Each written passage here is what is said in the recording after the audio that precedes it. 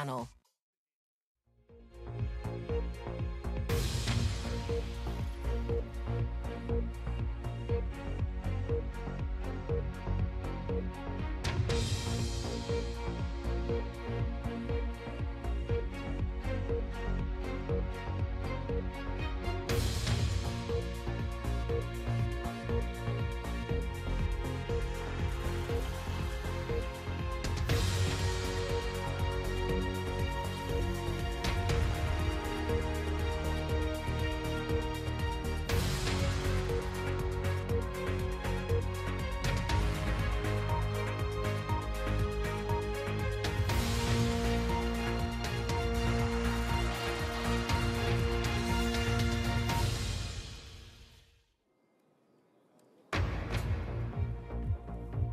Hello, this is BBC News. I'm Victoria Derbyshire, live in Downing Street. The headlines at 5.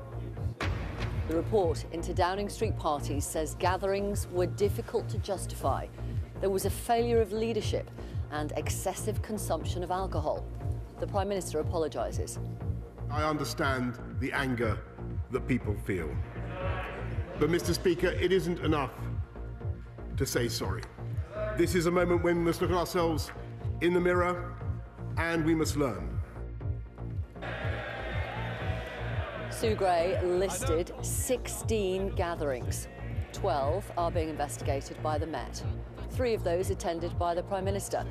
Labour leader Keir Starmer says Boris Johnson is taking the public for fools. Prime Minister, the British public aren't fools. They never believed a word of it. They think the Prime Minister should do the decent thing and resign. So either my right honourable friend had not read the rules, or didn't understand what they meant, and others around him, or they didn't think the rules applied to number 10. Which was it? I'll give you one more chance. As leader of the SNP, I don't want to have to throw you out. I'm going to give you this chance. Please. Please to power. That man has misled the House. A fiery exchange in the House of Commons leads to the Westminster leader of the SNP getting kicked out of the chamber. Ian Blackford accused the Prime Minister of lying to the Commons, something you aren't allowed to do.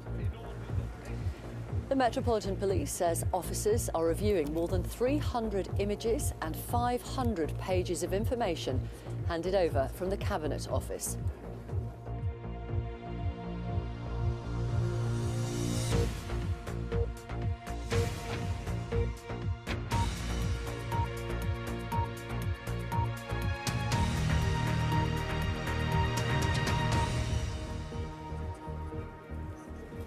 Hello. An initial report into allegations of lockdown parties in Downing Street has said there were failures of leadership and judgment within Number 10. The Prime Minister has told MPs he accepts Sue Gray's general findings in full and, above all, her recommendation that we must learn from these events and act now. He said